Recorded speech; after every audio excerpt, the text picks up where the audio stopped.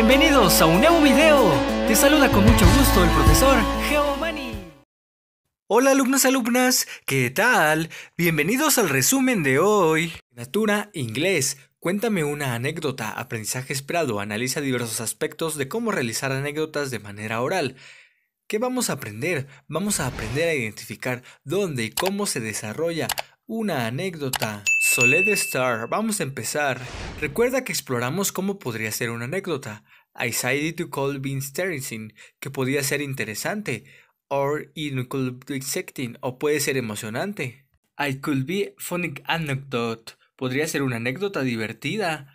Or maybe it could be sad, o quizá puede ser triste. That right, es correcto. Como ves, las anécdotas pueden ser tristes, alegres, divertidas, emocionantes. Aquí estás observando una anécdota en español y en inglés. Asignatura Matemáticas por 10, por 100 y por 1000. Aprendizaje esperado. Construcción de reglas prácticas para multiplicar rápidamente por 10, 100, 1000, etc. Concluirás el desafío por 10, por 100 y por 1000 y reflexionarás sobre algunas de sus implicaciones, tanto las que tienen que ver con tu conocimiento general de las matemáticas como las que tienen una utilidad práctica para hacer más operaciones. Todavía hay algunos secretos adicionales que encontrar en lo que falta de este desafío, por eso hoy dividiremos la sesión en partes. Primero vas a reflexionar un poco más sobre el algoritmo de la multiplicación, después vas a llevar a cabo las actividades que te faltan del desafío y tercero vas a analizar las actividades y reflexionar sus implicaciones. La primera reflexión tiene que ver cómo es escribimos los números en un sistema decimal. ¿Tú qué piensas? El número 352 en realidad es la suma de elementos que están multiplicados por 1, por 10 y por 100. 352 es igual a 2 por 1 más 5 por 10 más 3 por 100. Los ceros que van a la derecha de los números que componen el 352 nos señalan dos cosas.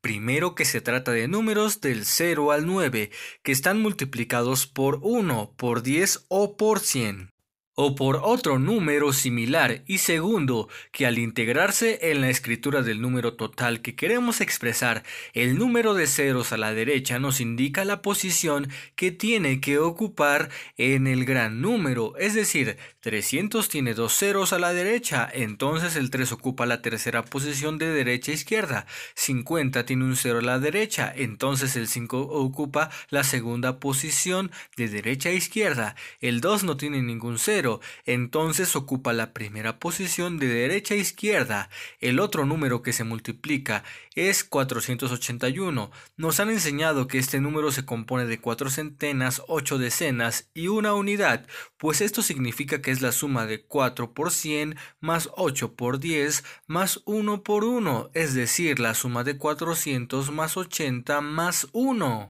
Te das cuenta de que si recuerdas que en la multiplicación por 10 solo se requiere agregar un cero, las operaciones que hacemos mediante el cálculo mental se facilitan más. Ahora ve qué sucede con el 80 y el 2400.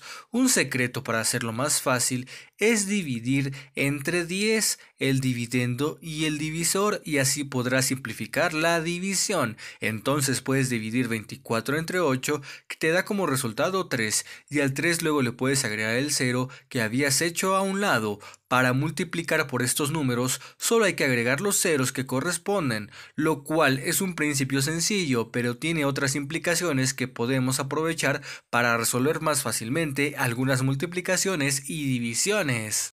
El principio que descubrimos para el 10, el 100 y el 1000 lo podemos aplicar cuando uno de los factores de una multiplicación es el 1 seguido de otra cantidad de ceros. Por ejemplo, 10.000, 100.000 o un millón. Este principio se aplica sin darnos cuenta cada que usamos el algoritmo habitual de la multiplicación, lo que se aplica a la multiplicación se puede aplicar a la adición, pero al revés. Si en la multiplicación agregamos ceros, en la división lo podemos quitar. El reto de hoy, revisa todas las operaciones realizadas este día.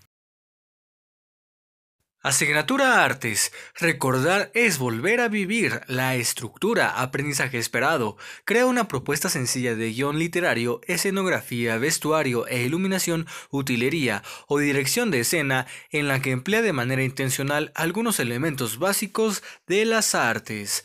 Entonces, este aprendizaje lo vimos en varias sesiones. Las fotografías nos hicieron recordar lo divertido e importante que fue el tema de los componentes de la estructura teatral. También vimos la forma generalizada de clasificar los géneros literarios en épico, lírico y dramático. El teatro corresponde al género dramático y su finalidad es la representación del texto. La palabra drama tiene una raíz griega que significa acción, por ello, el contenido del texto dramático no está hecho para narrarse, sino para ser actuado. Al intérprete se le llama actor o actriz, porque ejercen la acción del texto volviéndola un arte. Muchos autores consideran a Grecia la cuna del teatro occidental, por ello muchos términos provienen de la antigua cultura griega. Lo importante en el teatro es la acción, para ello necesitamos una estructura teatral o dramática, es decir, un texto con diálogos y acotaciones. Los diálogos son lo que se dice, lo que el espectador escucha decir al personaje, y las acotaciones son lo que no se dice, pero se hacen indicaciones con ellas. El dramaturgo es un escritor dedicado a escribir texto teatral dramático, se ocupa de escribir el texto de la obra y de su estructura. El dramaturgo es un constructor de historias que nos muestra muchos posibles que sirven de reflejo, muchas veces para sensibilizarnos hacia una realidad más armónica. Es una artista comprometido con la sociedad que a través del teatro y la pasión de la estructura nos ayuda a comprender la realidad y nos regala con su profesión belleza, conciencia y anhelo de ser mejores. Recuerda que cuando vimos al gran Aristóteles estudiamos tres formas para construir una historia. Asignatura Valores. Recupera la calma. Aprendizaje esperado. Reconoce cuando está agitado y cuando está en calma, así como la situación que provocó dicho estado de ánimo. Describe cómo se expresan ambos estados en el cuerpo, voz y conducta. ¿Sabes lo que significa agitación? La agitación es un estado mental nada agradable. Es cuando te sientes emocionado en exceso. También puedes sentirte ansioso, tenso, confundido o irritable. Durante el repaso de hoy veremos cómo reconocer los estados emocionales de agitación y calma. Puede ser que en los cambios de nuestro cuerpo, nuestra voz o en cómo nos comportamos. ¿Qué nos puede sacar de la calma?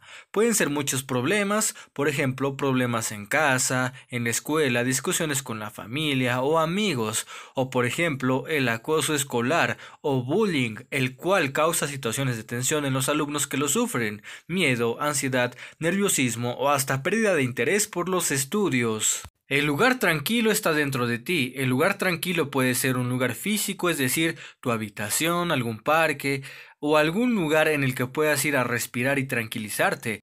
Para recuperar la calma se recomienda crear un cofre del tesoro con aquellos recuerdos maravillosos para poder utilizarlos cuando los necesitemos. Espero este video haya sido de tu agrado. Gracias por tu atención. No olvides darle me gusta y dejar tu suscripción. Cuídate mucho, estudia mucho, querido y querida alumna. Hasta la próxima.